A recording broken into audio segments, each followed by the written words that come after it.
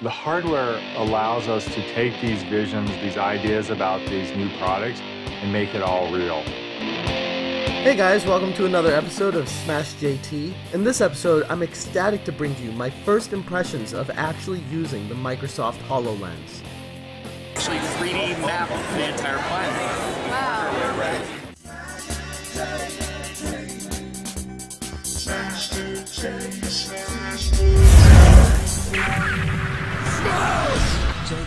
While attending the San Diego Comic Con 2017, NASA actually had a booth set up with Microsoft HoloLenses for the public to try out.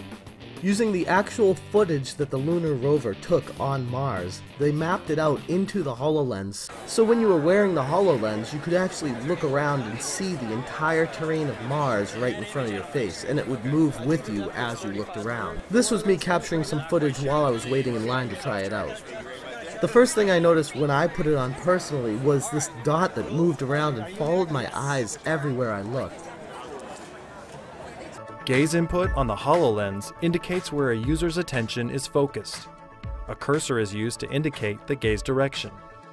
As the user's head moves, the cursor follows their point of attention, while remaining centered in their field of view. But enough background on this. How did I actually feel about the HoloLens when I put it on? Honestly, it didn't really wow me. It was really heavy and cumbersome and it only had a very narrow viewpoint, and if you looked anywhere outside of that, you'd see the real world.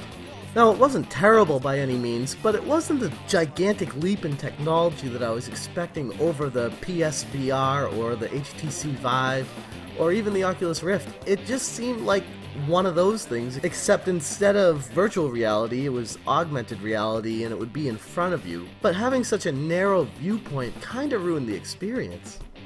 And clearly the HoloLens is still in the infancy as far as R&D goes, and there's a lot of work in the development still going on with it. So it's too early to say if it's going to be a success or not, but it does have a long way to go. And I guess the reason why I'm saying this is I want to temper people's expectations, because there have been some videos floating around on YouTube that are saying that this is incredible. This is amazing. This is the future. This thing has blown me away.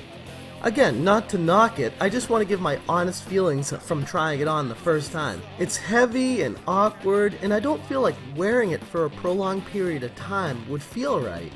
The battery lasts about 3 hours, and right now a dev kit costs about $3,000, so it's a long way away from being complete, and there's a lot of potential to it, but right now, it's just not ready for the public.